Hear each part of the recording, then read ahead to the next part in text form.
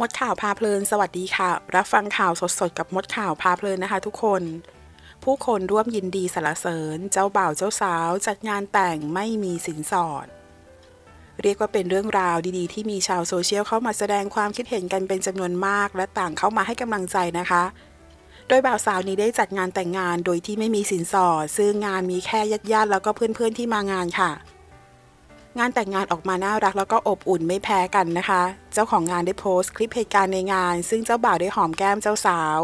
เรียกเสียงฮือฮาให้แขกในงานได้มากมายเลยทีเดียวค่ะ หลายๆ คนก็โฟกัสไปที่เจ้าบ่าว เหมือนเด็กๆอยู่เลย แต่ว่าทางเจ้าสาวได้ออกมาตอบแล้วนะคะ ว่าเจ้าบ่าวนั้นอายุ 26 แล้วจ้า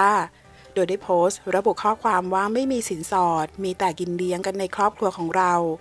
จัดกันง่าย ๆ งานแต่งคนจนไม่มีสินสอดแพงๆ ผูกข้อไม้ข้อมือ ขอแสดงความยินดีกับทั้งคู่ด้วยนะคะ ขอขอบคุณข้อมูลจาก Siam Topic ค่ะ ถ้าเพื่อนๆชอบคลิปนี้ฝากกดไลค์และกดกระดิ่งติดตามเพื่อเป็นกำลังใจให้ช่องมดข่าวพาเพลินด้วยนะคะ ขอบคุณค่ะ